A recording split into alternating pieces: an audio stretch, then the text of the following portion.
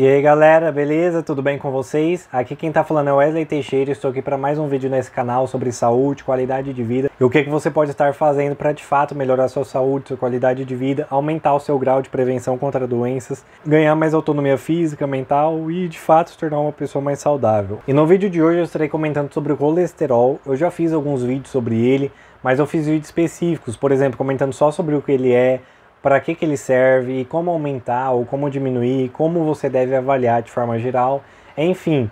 Mas nesse vídeo eu estarei fazendo um apanhado sobre cada um desses pilares do, de forma direta, o que é colesterol, para que ele serve, como aumentar ou diminuir, o que você precisa saber sobre ele. Enfim, vai ser realmente um vídeo geral sobre tudo que você precisa saber sobre o colesterol, de forma resumida, de forma bem direta e objetiva, para se tornar mais fácil para você compartilhar com seus amigos, familiares e fazer com que essa informação tão valiosa chegue até eles.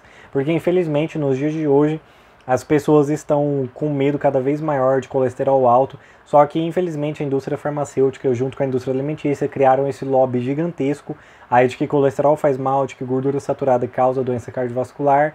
E, no entanto, a população, em média, cada ano que passa, está consumindo cada vez menos colesterol, cada vez menos gordura, e as doenças cardíacas só aumentam. Ou seja, se de fato o colesterol e a gordura saturada fosse a causa do infarto, a causa do AVC, a causa das doenças cardiovasculares como um todo, cada ano que passa iria diminuir, já que a população está consumindo cada vez menos.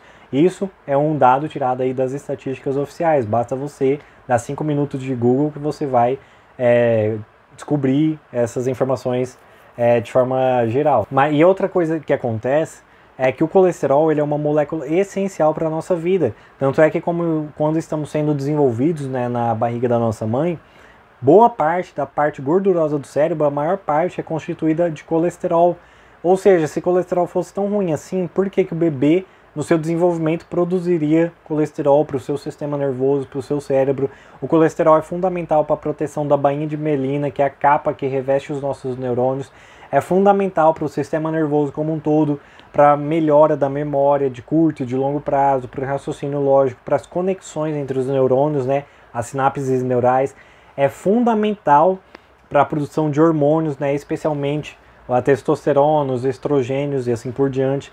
Ele é fundamental para a absorção e para a conversão da vitamina D, até porque a vitamina D, em sua maior parte, é produzida através do contato com o sol, né, o nosso corpo, incidindo na pele e aí na nossa pele tem colesterol e esse colesterol vai reagir com os raios solares, com essa luz, com essa energia solar na nossa pele e vai produzir a vitamina D para depois ser metabolizada no fígado e no rim de fato se tornar a vitamina D ativa. Então colesterol é fundamental, tanto é que as pessoas com colesterol mais baixo têm maior deficiência de vitamina D. Outro quesito também, né, se colesterol fosse tão vilão assim como eles dizem, é, não sei se você sabe, se você já ouviu esse dado, mas mais da metade, ou seja, mais de 50% das pessoas que sofrem infarto têm o colesterol normal. Ou seja, eles falam tanto que colesterol faz mal, que colesterol causa infarto, que aí colesterol alto a pessoa precisa tomar estatina, mas a maioria das pessoas com infarto tem o colesterol normal. Então isso é um paradoxo, né? Isso fica claro que de fato é, o colesterol não é o vilão, não é a causa da doença cardíaca. Tanto é que colesterol, eles dizem, ah, o HDL é o colesterol bom e o LDL é o colesterol ruim. De forma geral, existem 11 subtipos de LDL e 9 deles são bons, ou seja, só dois dos colesterol ruins são de fato ruins. Então vamos supor que a pessoa tem um colesterol alto, só que são de todos subtipos bons.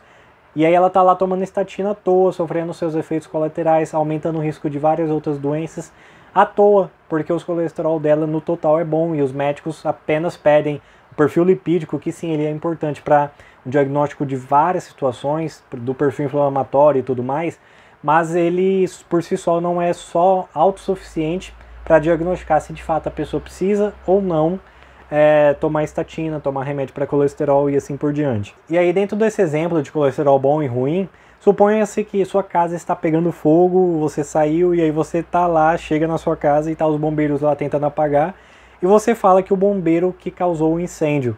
É a mesma coisa do colesterol. Infelizmente ele é encontrado na cena do crime, né, na, nos casos que a pessoa infarta, ele é encontrado nas artérias, e aí eles tinham que achar um vilão e denominaram que o colesterol é o vilão porque ele está lá na cena do crime. É a mesma coisa do bombeiro, o bombeiro está lá tentando apagar um incêndio, e alguém falar que ele é o que causou o incêndio. colesterol é assim, ele vai lá para a artéria e tudo mais para ele tentar é, amenizar o problema de inflamação que está sendo causado no endotélio vascular, na parede vascular, na parede dos vasos sanguíneos. E aí, conforme, quanto mais inflamado é essa pessoa, quanto mais prejudicial os hábitos de vida dessa pessoa, pior vai se tornando a saúde dela e a inflamação nos vasos sanguíneos. Ou seja, mais colesterol vai sendo recrutado. Então, por isso que pode causar obstrução por si só. Mas não é o colesterol que é a causa do infarto. O colesterol ele foi aumentando por causa de outros fatores que causaram a inflamação no seu organismo. Ou seja, não é o colesterol por si só que é o causador, é o vilão da doença cardíaca, mas sim os seus hábitos de vida que foram te inflamando e por um processo de regeneração, como um band-aid, digamos assim, o seu corpo foi é, recrutando colesterol para aquele local específico para ser servir como um cicatrizante, como um curativo é, no curto prazo. E aí ele vai dando sinais através dos exames que está aumentando ou que está com as suas relações entre HDL, entre LDL, entre colesterol total desregulada e para a pessoa perceber de que algo não está certo para mudar seu estilo de vida. E acontece que a medicina convencional não tem esse olhar, não tem essa visão e muito menos as pessoas que não estudam sobre esse assunto e aí continuam no mesmo hábito de vida e infartam e quando morre, né, teoricamente até que está bom. O problema é quando fica com sequelas e assim por diante, beleza? Então, de forma geral, é isso. O colesterol é uma molécula essencial para a síntese, para a produção de vários hormônios, dos neurotransmissores essenciais para o nosso coração, para o nosso cérebro, para o nosso corpo como um todo.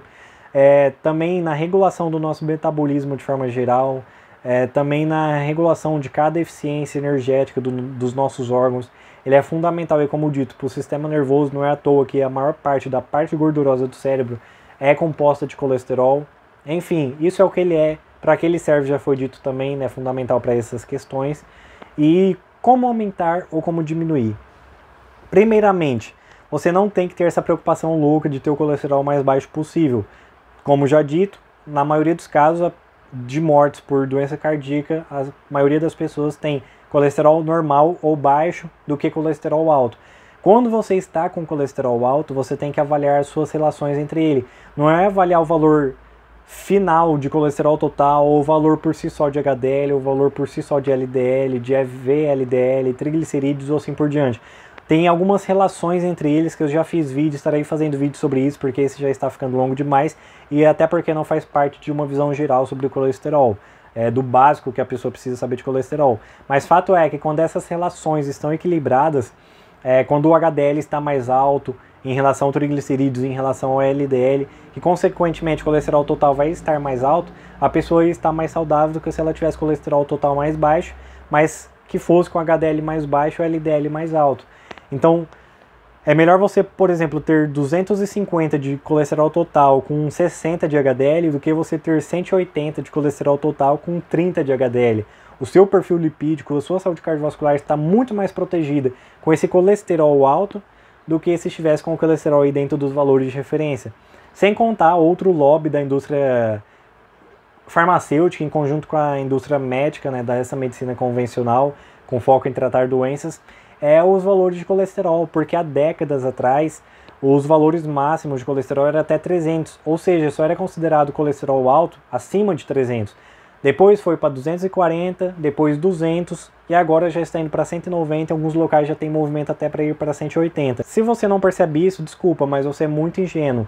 Cada tempo que passa, a indústria farmacêutica diz que o colesterol acima de tanto é alto, de fato, para ter uma base cada vez maior de clientes e se tornarem cada vez mais lucrativas. Porque suponhamos que quando o colesterol máximo era até 300 e só as pessoas que acima de 300 precisavam tomar é, remédio de colesterol, estatinas, seriam, vamos por 10 milhões de pessoas.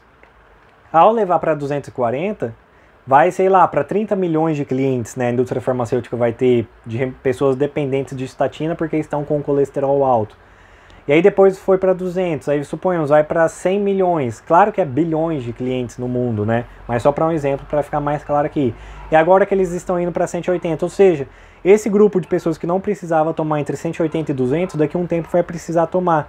E depois, e antes, né, o grupo que não precisava entre 200 e 240, teve que tomar, tá tendo que tomar, e assim por diante. Então, olha como a indústria farmacêutica vai enganando, vai incutindo na nossa cabeça que o colesterol tem que ser cada vez menor mesmo que as estatísticas de estudos randomizados, que é o maior grau de evidência científica, aqueles que provam de fato causalidade, já tem mostrado que a maioria das pessoas que morrem é com colesterol baixo ou no máximo normal. É a minoria é com colesterol de fato alto e mesmo as pessoas alto não é nem pelo colesterol alto em si, mas é por causa dessas relações entre eles estarem desequilibradas, sinalizando um processo inflamatório. Porque se a pessoa tiver colesterol alto, mas sem inflamações graves, ela tem um colesterol totalmente saudável, colesterol não oxidado, que é aquele que não vai se agregar às placas das artérias, que não vai causar infarto. Que não vai causar infarto. Então o fato é que independente então o fato é que independente do valor do seu colesterol, você não tem que se preocupar. A única coisa que você tem que se preocupar, você tem que focar, buscar daqui para frente, é melhorar a qualidade da sua alimentação, é ter um sono cada vez de melhor qualidade, é você praticar exercício físico de forma regular, enfim, ter uma suplementação aí, repondo as vitaminas e os minerais essenciais, porque aí sim, independente do valor do seu colesterol, o seu colesterol vai estar cada vez mais saudável, cada vez menos oxidado, enfim, realmente cada vez menos inflamado e causador, entre aspas, de doença cardíaca, ok? Mas basicamente é isso que eu gostaria de passar. Acredito que eu explanei muito sobre aqui, sobre o básico sobre colesterol. É claro que ainda faltou as informações sobre as relações entre eles, e aí, claro, daria um vídeo de mais de 10, 15 minutos, e esse vídeo ficaria longo demais. Mas como dito, o básico sobre colesterol já foi abordado aqui. Tem os vídeos específicos também que eu vou estar deixando ao longo desse vídeo no card, né, para você poder estar vendo depois de forma mais específica, mais detalhada sobre cada um desse fator, sobre o que ele é, para que, que ele serve, como aumentar ou como diminuir, por que você precisa aumentar e ou por que você precisa diminuir, quando saber isso, né, quando é os exames sobre as relações entre eles. Mas enfim, acredito que tenha abordado de forma geral aí, dando uma visão bem geral sobre esse assunto, bem básica de tudo que você precisa saber sobre colesterol e sua importância, ok? E compartilhe esse vídeo com seus amigos, seus familiares, para eles também saber sobre tudo isso, como nós somos enganados pela indústria farmacêutica alimentícia e como nós podemos mudar de forma saudável também, ok? Se inscreva no canal, aperte o sininho, dê seu like, dê seu dislike, comenta o que, que você gostou, o que, que você não gostou, para ser meu termômetro e eu poder sempre estar melhorando, ok? Sucesso uma saúde de excelência para todos nós, até o próximo vídeo. Falou, galera, até mais!